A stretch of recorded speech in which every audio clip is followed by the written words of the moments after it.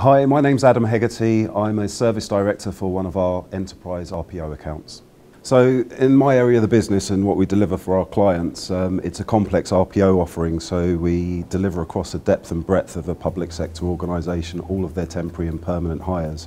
But we also deliver a robust compliance and safeguarding solution as well. It doesn't stop there though, there's a lot of continuous improvement work streams around um, purchase to pay solutions, new technology front and back office, but also automation of video interviewing technology and software around talent pooling and social networking. So it's, it's quite a complicated solution and a, a fairly mature model. So our service fits in with other areas of the business um, by collaborating between our on-site team and uh, the wider Capita family on such things as marketing and branding, compliance and safeguarding, market research and talent pooling, um, really to pull on the subject matter expertise that we have in other, other operating companies to complement what we're doing on site for our clients client.